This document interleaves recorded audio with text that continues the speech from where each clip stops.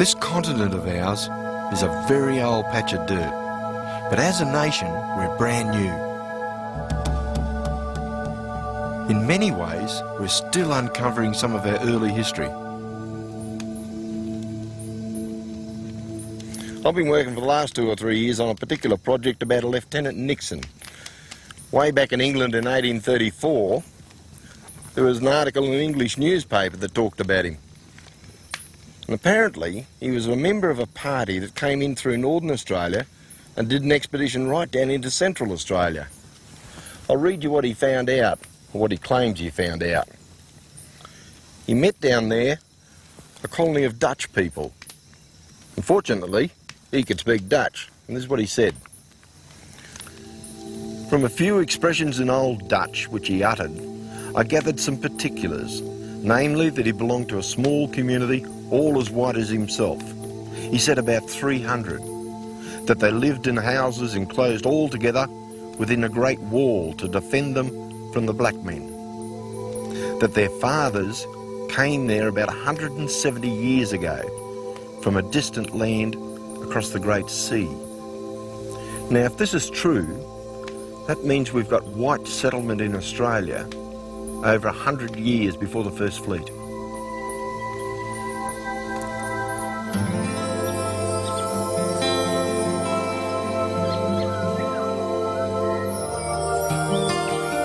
Long time, we were taught that the British were the only white settlers of this country.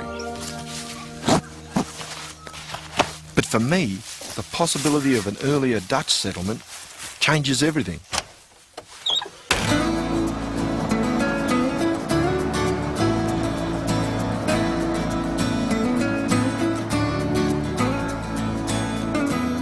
What got me started was an article in this newspaper, the Leeds Mercury, dated 1834. It was the largest provincial newspaper in England and often published reports of geographical exploration. On January the 25th, this extract from Lieutenant Nixon's journal appeared. Nixon's alleged discovery of a white colony was not on the northern shore, but 800 kilometres inland, near the middle of the Tanami Desert in the Northern Territory. For me, the article raises so many unanswered questions. Who was Lieutenant Nixon? And what happened to his journal, which has never been found?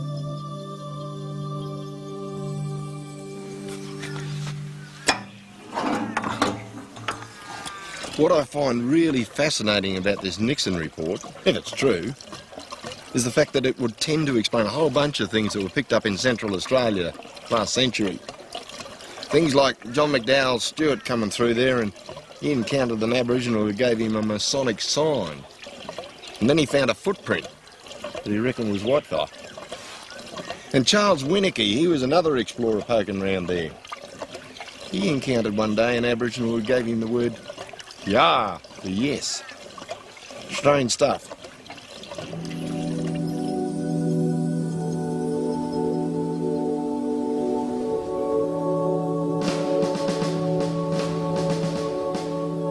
According to Nixon, he was part of an expedition that sailed to Australia, to Cobourg Peninsula, east of Darwin.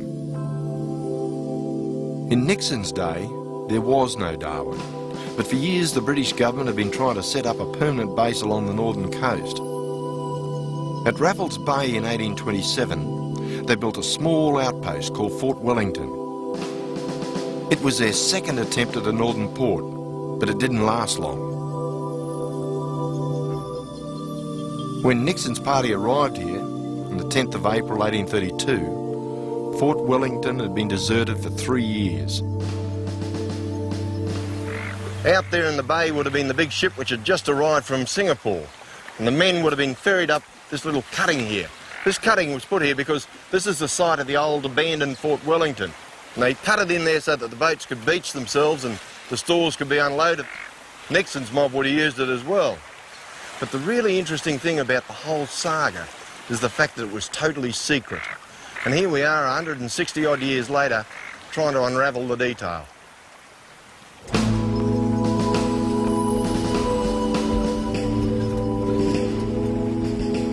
The task of the expedition was to look for commercial and geographical possibilities. In other words, anything that could bring fame or fortune.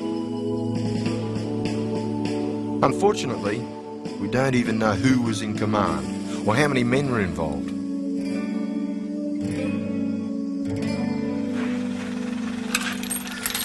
So what do we know about this Lieutenant Nixon?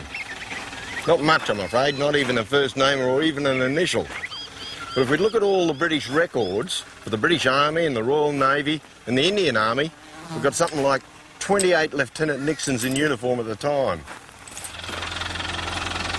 It's not all that bad, actually, when you think about it, because there's a few things we can do to sort out the sheep from the goats. So you've got to remember that Singapore was actually owned and operated and run by the East India Company, and they had their own army. And that gets rid of the, the British Army fellows and the, the Royal Navy lieutenants as well.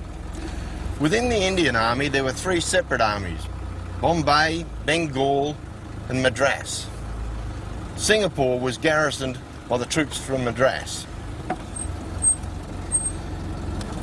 And within the Madras Army, we've got four Lieutenant Nixons. Of those four Lieutenant Nixons, one of them was a pensioner, so we can scratch him off the list. Another one was back in England getting married. That's him gone. The last two were both called Richard Nixon.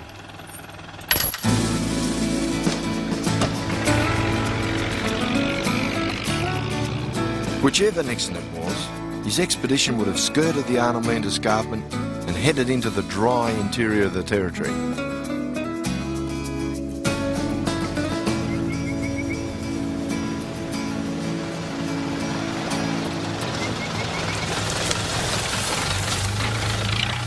These men were real explorers, moving through unknown country, looking for anything that could make a quid.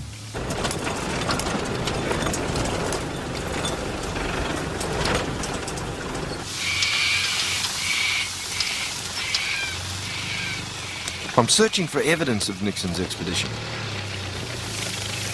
Just up ahead here, there's a junction of two creeks, which I reckon's worth having a look at.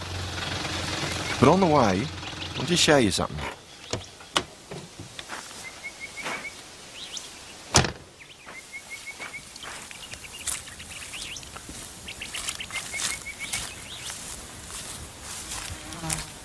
What I'm looking for around here, there's one over here, but usually you get some of this mistletoe hanging around here. That's a mima. And it's got a real survival cycle all of its own, which is fascinating. Here it is here with the little fruit hanging off it. There we go. Really sort of translucenty, sticky sort of stuff it is. Quite sweet too. But there's a seed in the middle of all this, and what happens is that the birds come along and eat their stuff here, and the seed gets stuck on the end of their beak, so they fly away to a tree and wipe their beak up and down on the branch, dislodge the, the seed again, and bang, up it comes again. The whole cycle repeats itself. There's more mistletoe around here than I've seen for ages. There's been some recent rain and that's made a big difference. That stuff there, that really typifies what's going on here at the moment.